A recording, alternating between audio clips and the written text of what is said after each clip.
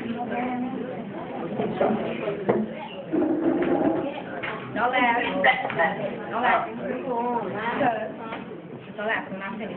Someone just start going off. All right, freestyle, Young brothers and sisters don't understand that we're at war. Mm-hmm. Don't understand, can't find the inner being of the core.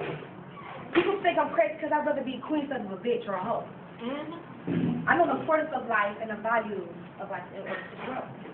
Black women don't understand that we are Mother Earth. Black men don't understand that you cannot leave here in a hearse. Yeah. Instead of being a five-star bitch, I'd rather be a black queen. If I could talk, I'm going to let them hear me sing. Shit. I don't oppress my mind with negativity. Just know that I am the hope of the slave and the dream of the king. I am the voice of the brother and the love of my mother. I am the role of today and the credits of tomorrow. I'm playing this way. I'm sorry. All right, Sloppy. anyway, my imagination continues to grow every day wildly, but unfortunately, not all black people understand the purpose of this fight. But I know the only person who can stop me is me. I wonder sometimes why I'm the only one that, I'm sorry. I wonder why I'm the only, the way I am. And why God put me here, I started to do it. I wonder. I never asked questions because I was where I started. I flaunted it.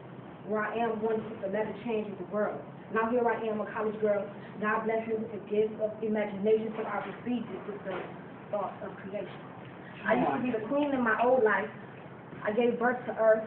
I gave light, to my son. And I gave the stars such a twinkle that no one can ever get. I know I'm the former life. I was an African queen. Sitting next to me was my African king.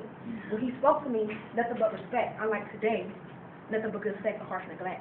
Yeah. Oh, sorry. It's not stop. Somebody go off the dome. All right, on, I feel my mental capacity with nothing but knowledge to know. Things that I need to see. These things. Understand me when I say that. I am the future of tomorrow. Understand me when I say things like, I am smart and I'm intelligent black woman. Understand this. Just know. That's it.